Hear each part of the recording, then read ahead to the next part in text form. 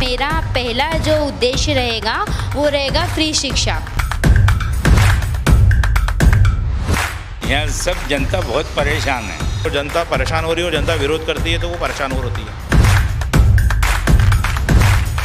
पानी बराबर मिलता नहीं है। ड्रेनेज का पानी आता रहता बदबू वाला। ये तो आम बात है नंदा नगर में प्रॉब्लम नहीं है ये प्रॉब्लम्स का एक हब है।